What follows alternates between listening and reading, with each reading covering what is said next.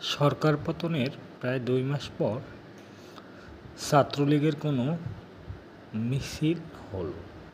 মিছিলটি হলো খুলনায়। খুলনা জেলা ছাত্রলীগের বিক্ষোভ মিছিল। মাননীয় প্রধানমন্ত্রী জননেত্রী দেশরত্ন শেখ হাসিনার সসম্মানে, শেখ হাসিনাকে সসম্মানে দেশে ফিরিয়ে আনতে ও বিএনপি জামাতের অগ্নিসংযোগ ও লুটপাটের বিরুদ্ধে মিছিল করেছে বাংলা ছাত্রলীগ খুলনা জেলা শাখা।